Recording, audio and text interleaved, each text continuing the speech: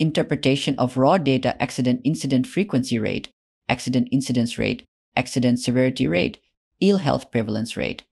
Data can be collected and reported about a number of different unwanted events, such as accidents, the dangerous occurrences, near misses, cases of ill health, complaints from the workforce, the number and type of formal enforcement actions taken against the organization, the number and value of civil claims for compensation against the organization, the cost of accidents, e.g., damage repairs. This data can then be analyzed to see if there are any trends consistent increases or decreases in the number of certain types of event over a period of time, patterns collections of hotspots of certain types of event. This analysis usually involves converting raw data i.e., the actual numbers into an accident rate so that meaningful comparison can be made. Commonly used accident rates used to measure an organization's safety performance are 1.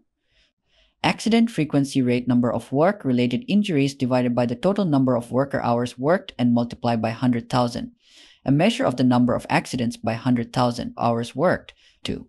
Accident incidence rate number of work related injuries and average number of persons employed multiplied by 1000, a measure of the number of injuries per 1000 employees measured over a defined period, such as a year. 3. Accident severity rate total number of days lost divided by the total number of worker hours worked multiplied by 1000, a measure of the average number of days lost per 1000 hours worked and gives the average number of days lost per accident. 4. Ill health prevalence rate. Total number of cases of ill health in the population divided by number of persons at risk multiplied by 100 gives the percentage of the population with the disease.